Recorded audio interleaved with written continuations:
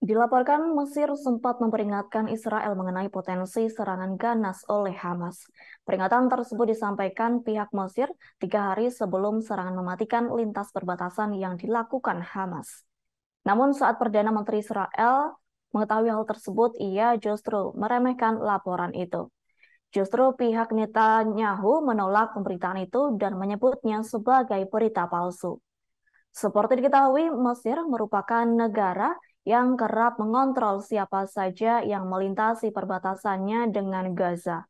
Disebutkan Mesir sering menjadi mediator antara Israel dan Hamas.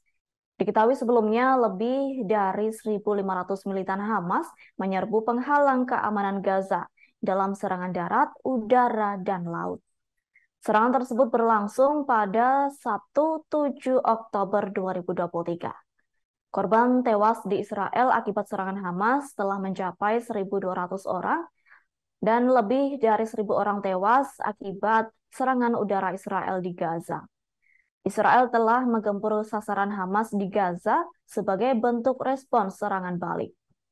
Saat Israel menyerang jalur Gaza, Penduduk di wilayah tersebut mengatakan tidak memiliki listrik.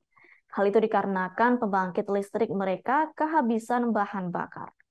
Sementara itu, Hamas mengutuk pernyataan Presiden Amerika Serikat Joe Biden yang mengatakan Israel memiliki kewajiban untuk menanggapi serangan tersebut yang disebutnya sebagai tindakan jahat.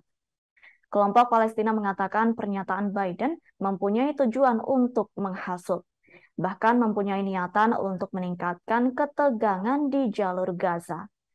Diketahui setelah Hamas menyerang, Amerika Serikat mengklaim akan memindahkan kapal induk, kapal dan jet ke Medita, Mediterania Timur. Selain itu, Amerika Serikat akan memberi pasokan peralatan senjata dan amunisi tambahan ke Israel.